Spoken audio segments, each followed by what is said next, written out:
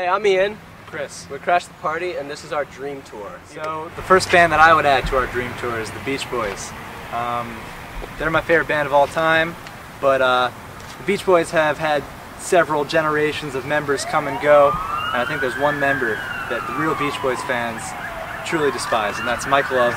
And He he's would not, not allowed. be. He's not allowed on my my dream tour with the Beach Boys. Um, Brian Wilson, of course, is the best Beach Boy.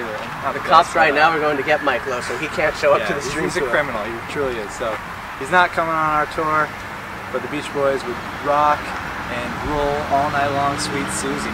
Uh, my first band would be the Rocket Summer, or Bryce Avery. Uh, it's been my inspiration and idol for as long as I can remember.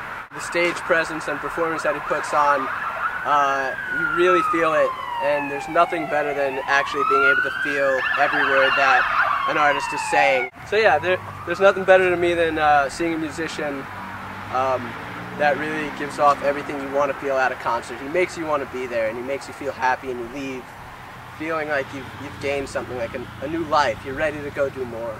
So that's that's my first. You know, I was just thinking about this. I was originally going to say one band, but I'm going to change my selection What if I take? Okay. based on a conversation that I had with Bryce Avery of the Rocket Summer one time.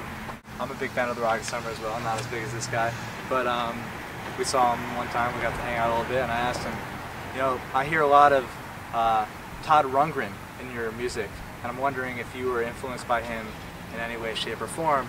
And he just kind of goes, I don't, I've never heard of that dude. Uh, I'm like, okay, well, this, under the this bus. is. Uh, I don't mean no offense uh, to Bryce because he's one of my idols, but um, I, I felt uncomfortable in that situation because I thought I was making him feel. uncomfortable. Anyways, I my what I propose here is that we have Todd Rundgren on the tour.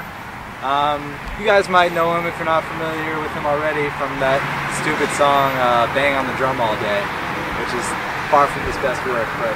Um, then we could introduce him to the Rocket Summer, and they could be like, "Oh man, yeah, They could our write. songs have so much in Oh, common." They yes. could write together, and maybe we could write with them. Yeah. and, uh, That would, Boys that would be a party that I'd want to be That'd invited be to. the weirdest song slash tour ever. It's only gonna get more weird because since you didn't say it, I would I would want ABBA on tour. okay, fine.